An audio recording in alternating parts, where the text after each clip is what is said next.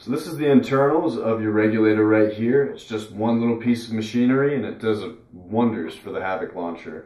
Uh, now I do want to stress that the air that you use in this should be high pressure air, but if you do decide to use CO2, which can cause problems later on, uh, it must, must either be anti-siphon CO2 or it has to be through a remote coil. It is not recommended whatsoever. High pressure air is the way to go with one of these guys. So let's uh, put this all back together. So as I'm putting this back together here, the guys and I, when we first got this, wanted to try out uh, what would happen if we did use CO2. Well, the O-ring on the regulator here burst almost instantaneously, so that is not a good idea to use CO2. Now, when you're putting the regulator back in its, in its place, you want to make sure that it's seated correctly. Uh, I just got that in really quick that time, and uh, normally it's a really troublesome little guy. So you just want to push that in once you have it seated, put your spring back in, and then you want to screw that back in.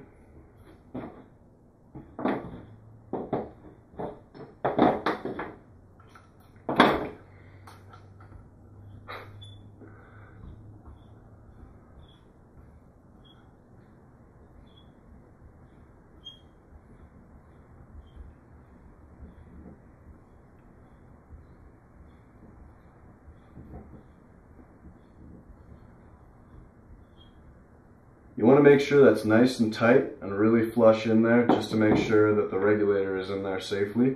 Alright, so we're just going to grab the top of our piston housing here and get this put back together. You want to push it in until you hear that pop and then just start gently screwing in. You want to push in a little bit on each turn and uh, these are really, really finely threaded so you want to make sure that you're carefully making sure that you're not going to cross thread this and then you get to that point where it gets a little tough and you got to put in a little bit of torque to get it in. And there you go, everything's back together. So now we're just going to uh, get this put back on the grip frame here with the, uh, the stock on it and uh, put the barrel on and we're going to take this outside.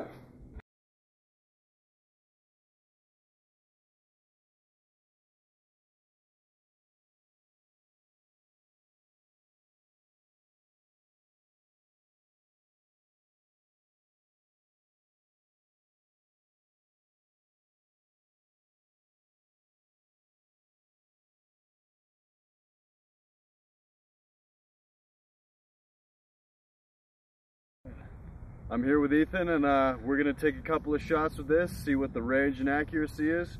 We got ourselves the Nerf Vortex footballs. They're real easy to load. You just pop them in there and it's good to go. So Ethan, start All running. right, do this. I'm to try and hit them right here.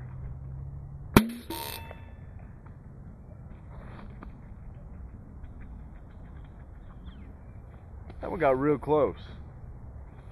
Now we'll go for a little range.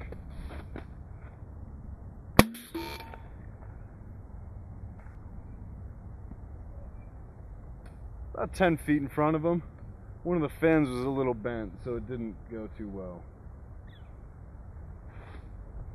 And uh, that's the range and accuracy on this guy. Not bad at all. All right, so we put this guy through the ropes. We've taken a look at the inside and we've taken a couple of shots to check out the accuracy and the distance. But a lot of people still have the question, what does it feel like when you get shot? I'm gonna be the guinea pig for that one. So uh, Ethan, why don't you shoot me right in the chest? Why don't you saddle up and let's do this? All right, don't try this at home.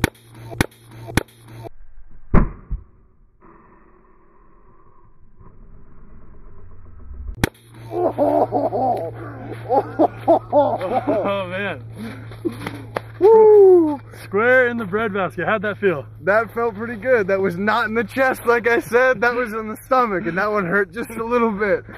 Ow. All right, guys. Well, we've had a good time here. We've checked this thing out. We've looked into the internals. Obviously, we see what it's uh, what it'll do to your buddy when you shoot him. It's got some great distance, accuracy. You know, the other cool thing is you can actually load this thing up with uh, other things than just the footballs. You can put in a lot of paint grenades.